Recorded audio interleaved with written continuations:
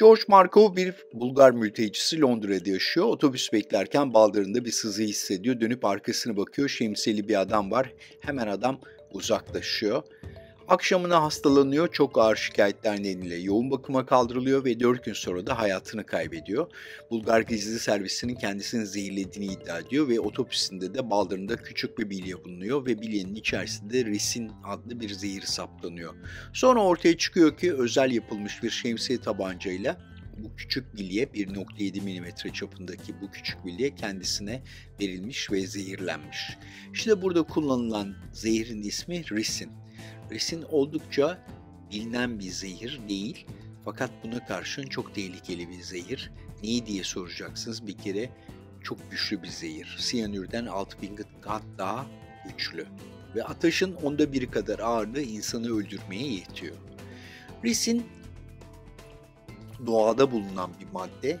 Hint yağı bitkisi veya kene otu tohumu diye adlandırılan bitkiden elde ediliyor. Peki diyeceksiniz ki bu risinin özelliği nedir? Risinin özelliği protein sentezini durduruyor. Protein sentezi denildiği zaman enzimler de ortadan kalktığından dolayı vücudun tüm fonksiyonları çöküyor. Ve işin kötüsü antidotu yok. Sadece bir aşı yapılmış. O da farelerde denenmiş, insanlarda denenmemiş. Özel testlerle risin tespit ediliyor.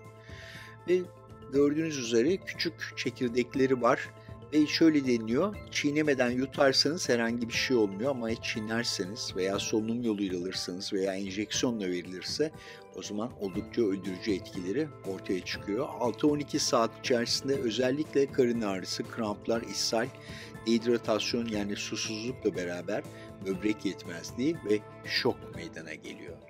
Ve kişiyi kurtarmak da pek mümkün değil. Tabii burada bir altını çizeceğimiz bir olay var. O da solunum yoluyla alındığı zaman etkileri daha hızlı ortaya çıkıyor. Sadece bu bitkiyi bulmak yetmiyor. Bunu ezip arındırıp ondan sonra etkin maddeyi ele geçirmeniz lazım. Amerika'da çok ciddi bir şekilde izleniyor. İnternetten satın alanlar bile hapis cezasına çarptırılıyor.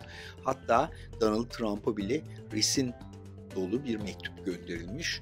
O yüzden Amerika'daki üst düzey görevlileri resin açısından inceleniyorlar. Özellikle mektupları gelen paketlerde inceleniyor. İkinci Dünya Savaşı'nda bundan bir gaz yapmaya çalışmışlar ama vazgeçmişler. Ama korkarım dünyada bunun üzerinde çalışan insanlar vardır. Efendim sabrınız için teşekkür ediyorum. Görüşmek üzere, hoşçakalınız.